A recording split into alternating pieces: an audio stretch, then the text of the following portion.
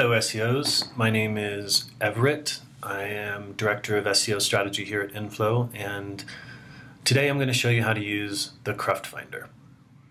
It's a pretty simple tool. Let's start off with platform agnostic query.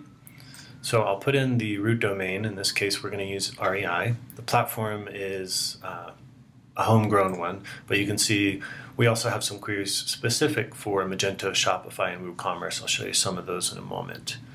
I like to start with platform agnostic because it really doesn't matter if you're on one of these other platforms or if you have a homegrown solution, this will help you find some of the cruft. Using REI as an example, um, I would want to look at these PHP files.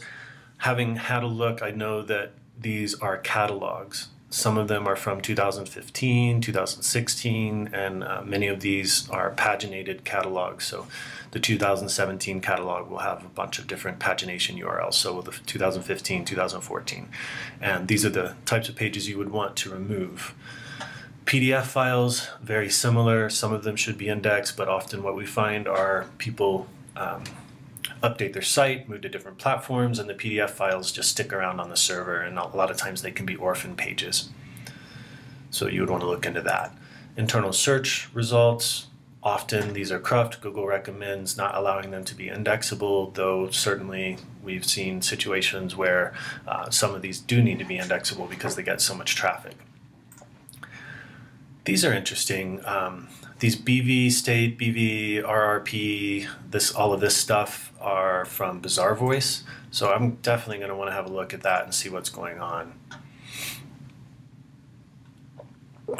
okay.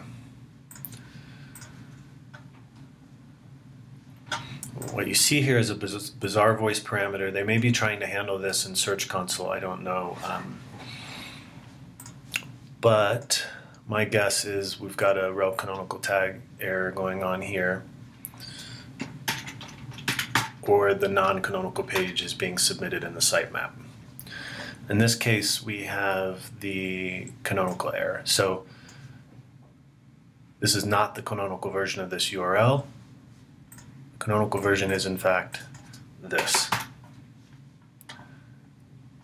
Same page, different URL. Both of these were indexable and uh, that's how you find cruft.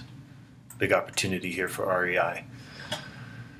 Let's go, let's move on to a different site and a different platform. Let's do Magento.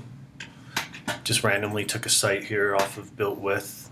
Um, before I change this, you see I didn't do it this time, so now it's running all these queries and wasting resources.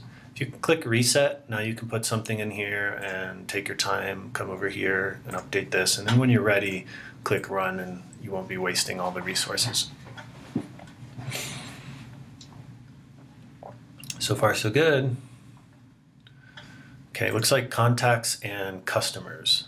So this is pretty common. A lot of times what we have are people who allow customers to do reviews or allow customers to put in wish lists um, things like that.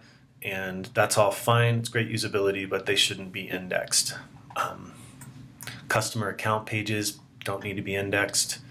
Uh, let's see. Here's one where we have a customer that is reviewing a product.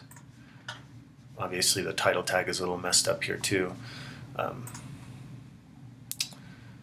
so this is the product review.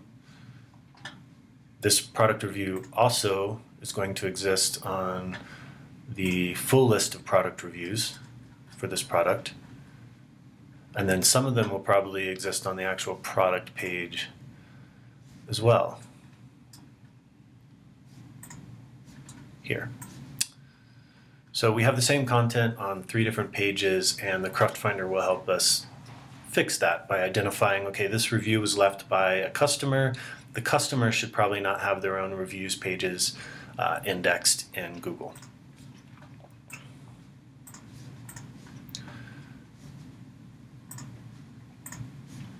Let's move on to Shopify. Another built with site, ducting.com.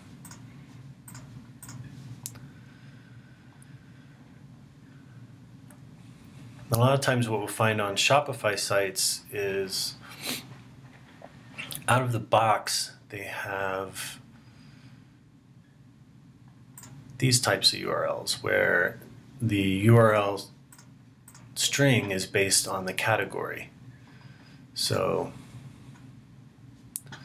collections, products tells you that this is a, a URL that's built from a category path. And that's the way Shopify originally had URLs. The actual canonical for this is going to be this URL. So we saw in one example where there was a rel canonical tag that was messed up. I'm not sure that's the case here um, because it's using the the correct canonical version. However,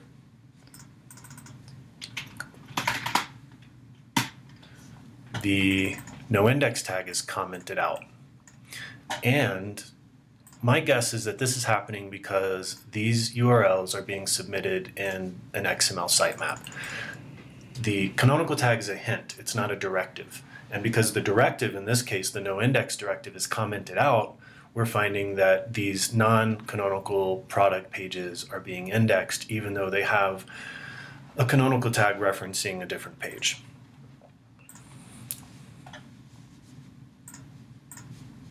Let's let's go to WooCommerce um, quickly. These are going to have the same problems as pretty much any WordPress site. And a lot of times that boils down to tag pages, archive pages, uh, attachment URLs, and things like that. At least they deleted their Hello World post. That is a lot of tag pages. The content on these pages will be duplicated on category pages. It will be duplicated on the actual post pages, which in this case is probably some uh, sort of report product.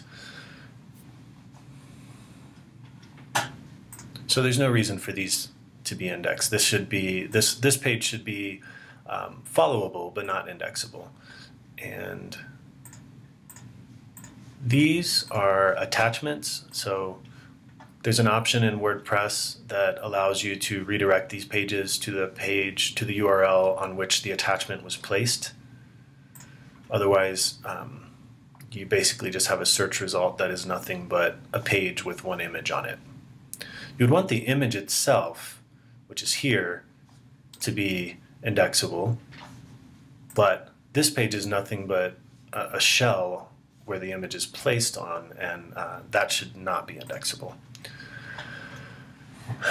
There are many other opportunities here going through archive URLs to find old posts uh, that uh, maybe just aren't updated anymore, that people aren't searching for. This is also just the place to start. Sometimes you might find some false positive in these reports. I would not recommend just taking all of the URLs from these reports and, for instance, no indexing them. That's not what uh, this tool is meant for. It's a research tool, and it's here to help you get started finding the cruft. The next step is to decide what to do about it. Do you use a robots.txt file? Do you use a robots meta tag or robots? Is it followable or not? Will a rel canonical tag take care of it? Are these non-canonical pages in the XML sitemap? So on and so forth. So pay attention to the Inflow blog in the coming um, weeks and months, and we'll be sharing some more great content about how to decide what to do with these URLs when you find them. Thanks, and please share.